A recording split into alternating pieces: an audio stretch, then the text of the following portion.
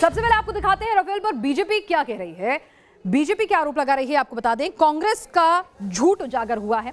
कांग्रेस ने कमीशन के लिए अटकाई डील। 10 साल तक वायुसेना को अच्छे जहाज़ से वंचित रखा, डील को अटकाए रखा कमीशन नहीं होने की वजह से। 2007-2012 के बीच कमीशन हुई। 2013 से पहले पैंसठ करोड़ की घूस जो है, वो कांग्रेस के काल में दी गई है। ये बीजेपी सनसनीखेज आरोप लगा रही है। न सिर्फ़ इतना कह रही है, बल्कि ये भी कह रही है कि भाई, आपने न सिर्फ़ घूस खाई है, बल्कि आपने डील को 10 साल तक लटका कर भी रखा।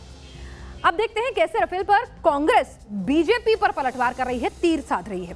देश का सबसे बड़ा रक्षा घोटाला करार दे रही है कांग्रेस। इकतालीस हज़ार करोड़ का घोटाला हुआ है कांग्रेस का कहना है। 526 करोड़ में बात हुई थी 1670 करोड़ में खरीद हुई है। बिना टेंडर के कौन एयरक्राफ्ट खरीदता है? 36 महीने में कार्रवाई क्यों नहीं हुई? ये तमाम सवाल जो है वो कांग्रेस साध रही है। फ्रांस में रफेल की जो नई रिपोर्ट आई है, जिसके बाद बीजेपी ने कांग्रेस पर करारा हमला किया है प्रेस कॉन्फ्रेंस कर बीजेपी रफेल डील में देरी और भ्रष्टाचार समेत कई गंभीर आरोप लगा रही है। क्या कुछ कहा संबित पात्रा ने आरोपों की झड़ी लगाते हुए? आइए सुनते हैं। तो दिल दहल जाता है ये जानकर के। कि जहाँ तक रफाल का विषय है यह कमीशन की कहानी थी। बहुत बड़े घोटाले की साजिश थी और यह पूरा मामला 2007 और 2012 के बीच हुआ। अग्रीमेंट फॉर कमीशन कांग्रेस के कालखंड में एग्रीमेंट फॉर परचेस तो हमने देखा नहीं। नेगोशिएशन को कंक्लूड होते हुए देखा नहीं।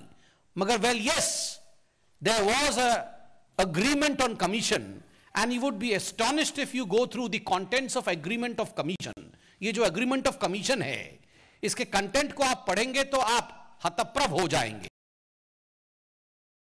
जो हमने गवर्नमेंट टू गवर्नमेंट नेगोशिएशन किए और आज रफेल हिंदुस्तान में आया है और हिंदुस्तान सुरक्षित है पूरे मसले पर जो डील मोदी सरकार की रही है गवर्नमेंट टू गवर्नमेंट डील उस पर सीएजी और सुप्रीम कोर्ट की टिप्पणी रही है। सीएजी की भी टिप्पणी रही है और सीएजी ने भी कहा है को जो डील सरकार ने किया है that is the best deal that could be present Congress ने सरकार पर तीखे हमले किए और कहा कि रुफेल घोटाले में सरकार अपनी भूमिका से बचने की कोशिश कर रही है।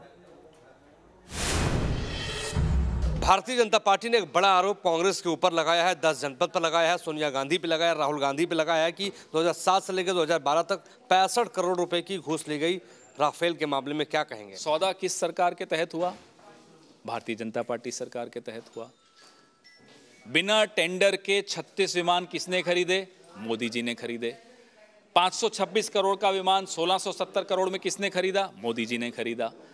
भ्रष्टाचार नहीं होना चाहिए, ये क्लॉज खुद हस्तक्षेप करके किसने हटाया? मोदी जी ने हटाया। इंक्वायरी किस पर होनी चाहिए? मोदी जी पर होनी चाहिए।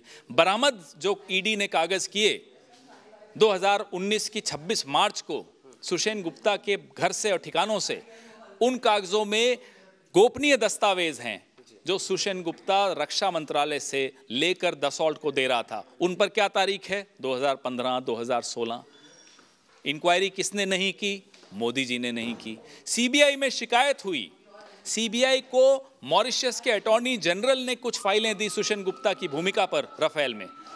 36 महीने हो गए इस बात को। सीबीआई को यह नहीं कहा गया कि सुशेन गुप्ता की इंक्वायरी की जाए। मालूम पड़ जाएगा किसने लिया। आरोप लगा रहा था क्या मानहानि का केस करेगी कांग्रेस? देश करेगा हमें कुछ नहीं करना। अब देश में ये नारा गूंजेगा कि चौकीदार वाकई चोर है।